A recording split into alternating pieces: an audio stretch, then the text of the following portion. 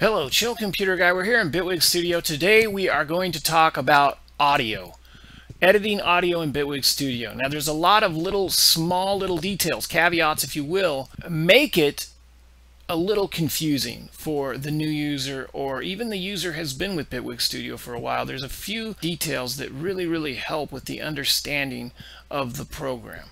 So we're going to start out here. We're going to open up the browser. We're going to go over to the samples here and we're going to go to Splice. Now, if you haven't checked out Splice, you got to check out Splice, splice.com. And this particular website, what you do is you pay a flat fee and you're allotted a certain amount of samples per month. It's like $7.99 for like 100 samples, and, and it goes up from there. You can get up to 600 samples, I think, for like 20 bucks a month. So that way you're only getting the samples you want as opposed to you know spending 20 30 bucks on this bloated sample pack which you're not going to use a lot of that content they're doing a thing with Serum right now by Xfer Records and you can actually pay them uh, it's like a $10 a month, 19 months, and you own it. No interest, gives you a full license. Definitely check out splice.com. It's a very, very unique. Go there for all your samples. They have everything, and it's categorized and it's done in a very organized way. So check it out. We're going to go to the, uh, you can drag this out so you can see. We got Baker Brothers Funk Sessions Volume 3. This is subdivided into drum fills and drum loops. We're going to actually go into drum fills. Make sure and uh, turn on our preview there, and we'll check some of these out.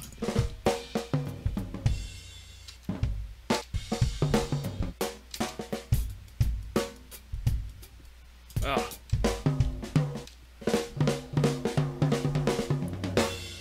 Unbelievable. Just great sound and samples here. All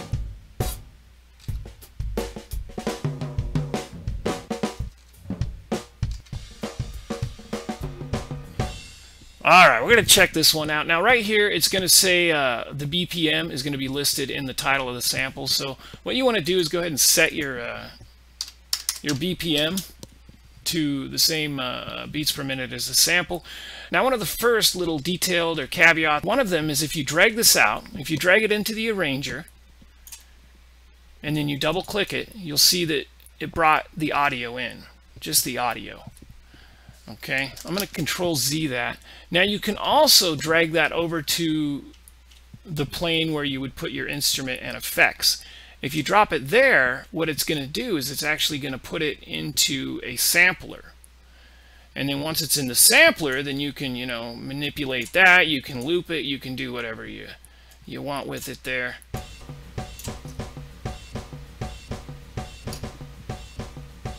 So you have all the, uh, the options of having this in a sampler. And then, of course, if you double click on here, you create a MIDI clip, and then you have just your uh, MIDI note laying like you would any normal instrument. And so that's if you drag it all the way over.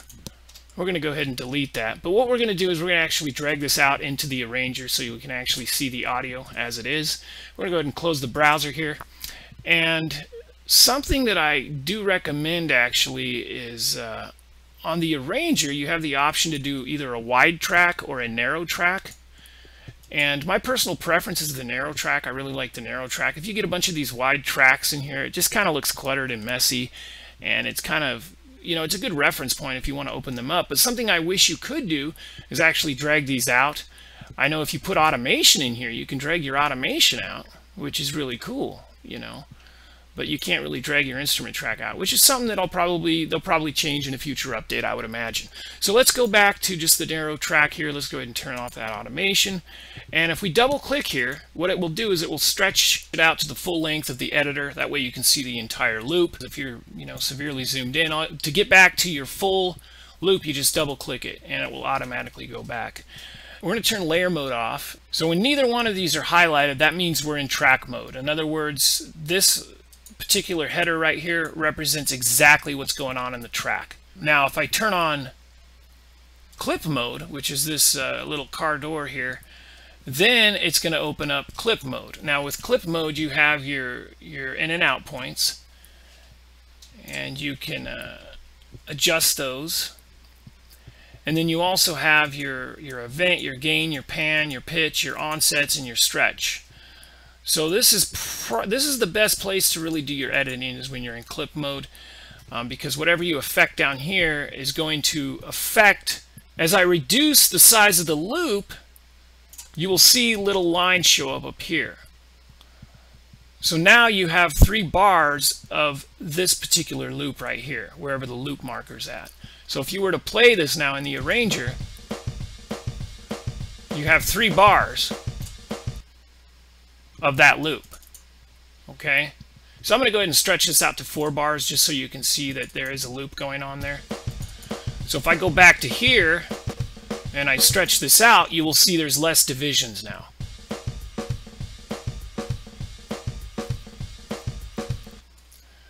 But an important note is when this is highlighted, you are in clip mode.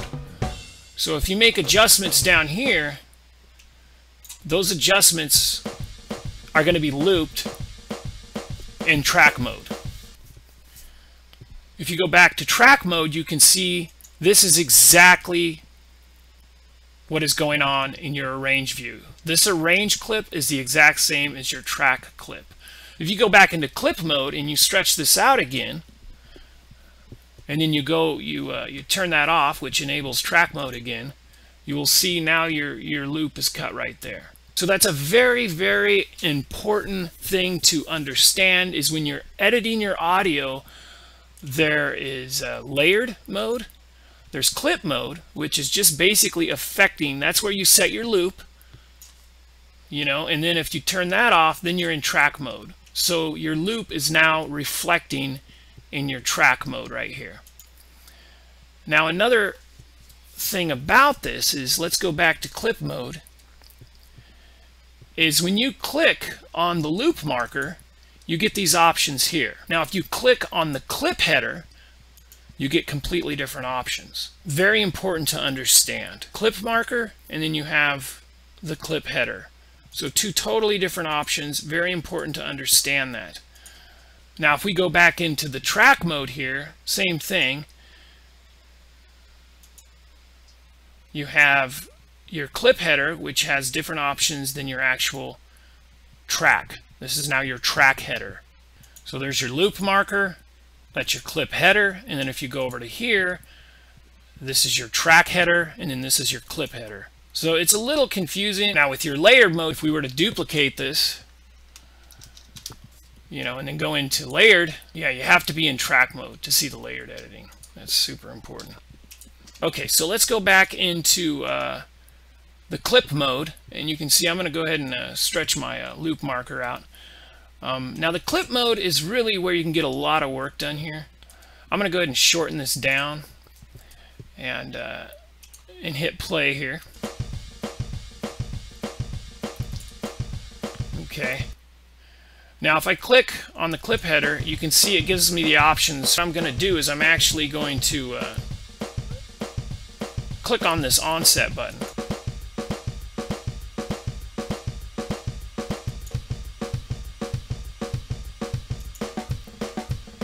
And what this is doing is it's actually pushing the clip forward by one onset. And this is a really good way to get some variation.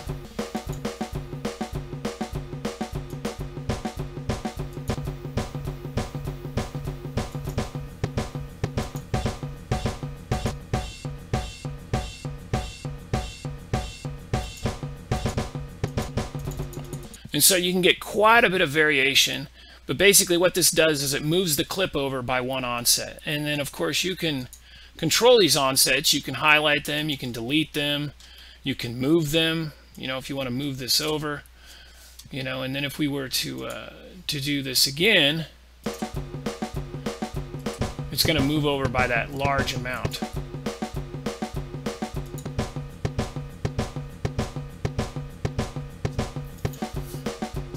So super powerful. Now another thing about this is when in clip mode, you can split at the onsets. Like I say, you can move, you can delete, you can even add a onset. If you just double click, you'll add an onset there. And so you do have a lot of power here in clip mode.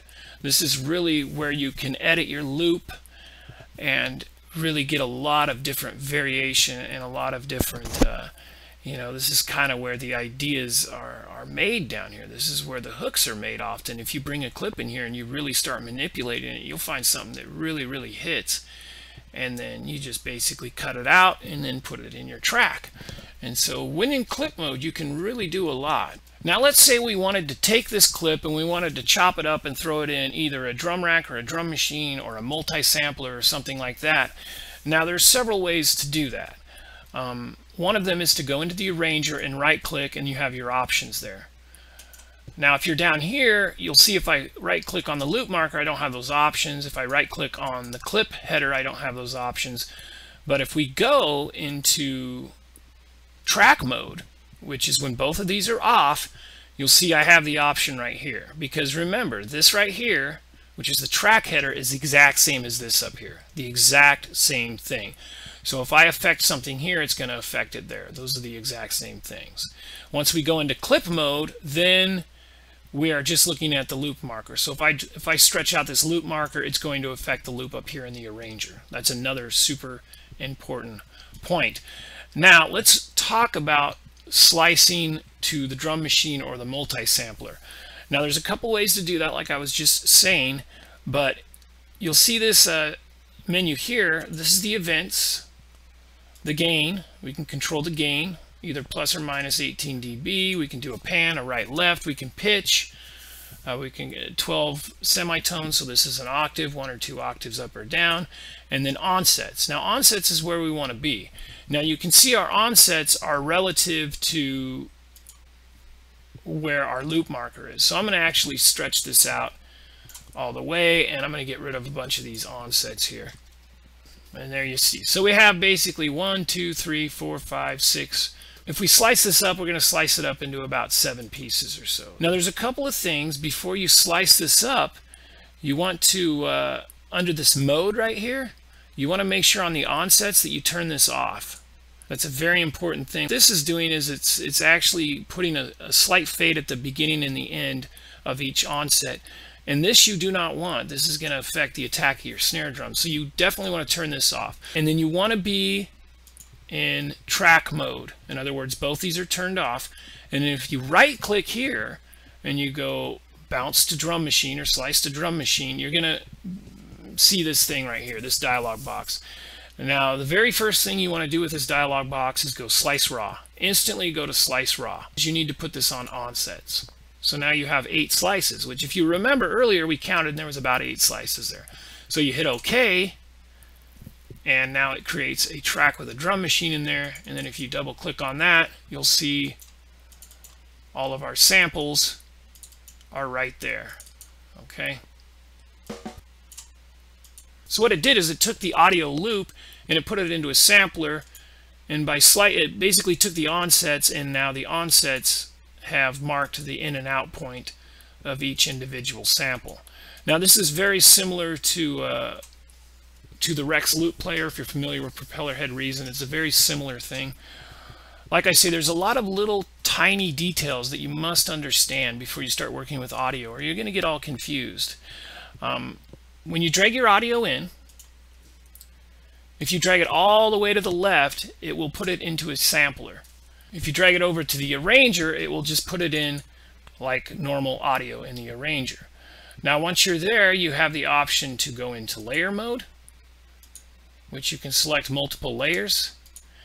You have the option to go into clip mode where you can set an in and out point. And then once you set your in and out point, that will be reflected in your arranger. You can see those little lines represent where the loop is going to start over. So working with audio is it's a it's a little complicated, but you have to understand the little details. You have to understand those little caveats, those little details. Once you understand those little details, Bitwig is very very powerful for audio editing. Uh, you mainly have to understand the difference between being in clip mode and in track mode. And you have to also understand the fact that when you click on the track header, it's going to give you different options than clip header. Beautiful waveforms, um, just absolutely stunning waveforms uh, stunning audio quality and stunning tools to get the audio exactly how you want it. The ability to just throw your audio into your arranger, go into clip mode, uh, set up your loop marker, start slicing, start pitching stuff, and instantly end up with, with a hook out of just a simple little, you know, three second sample is, is pretty powerful, pretty magical. And it's why Bitwig Studio, once it's understood, You have to take the time to understand some of those little details, some of those little caveats. And once you understand those, you realize how powerful of a DAW it is and why I think it is the future. Anyway, this is Chill Computer Guy. I hope you enjoyed today's tutorial. We'll be back next week and we'll have something more for you. Thanks again now.